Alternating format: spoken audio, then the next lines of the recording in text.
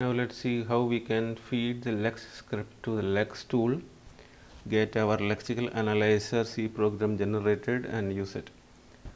So I will open my command terminal of my OS first because I need to interact with a, a Lex tool which is basically a command line tool and then uh, I am going to generate my lexical analyzer C code.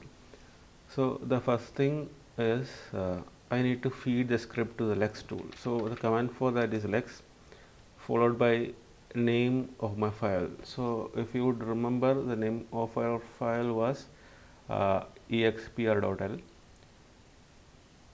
So lex followed by expr.l.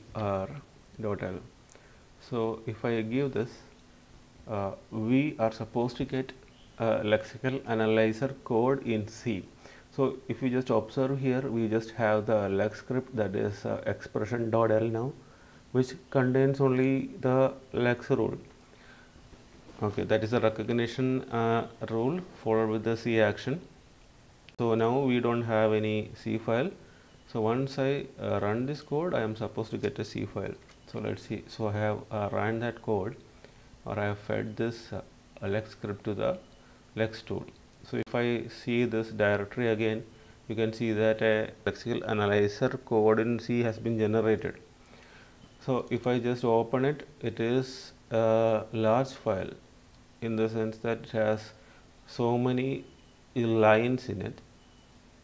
Okay, so mostly it is boilerplate code that is uh, code generated as default by the Lex tool and the only some of the portion of the code corresponds to the action we have written